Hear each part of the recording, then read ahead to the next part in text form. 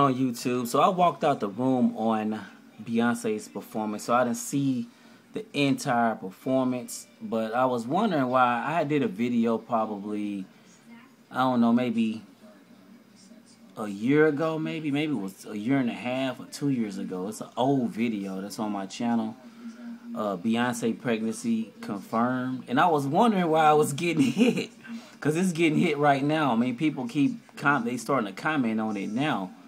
And the reason they're commenting on it is because Beyonce announced that she was pregnant on the MTV VMA Awards. I I missed it. I missed I missed her announcing it.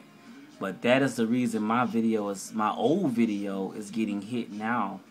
Cause she announced it tonight that she's pregnant by Jay Z, of course. Uh, congratulations to Jay Z uh, and Beyonce knows. That's all I can say about that. That's pretty cool, you know. I mean, it's about time, I guess, you know. See you guys on the next video. DJ Kids out.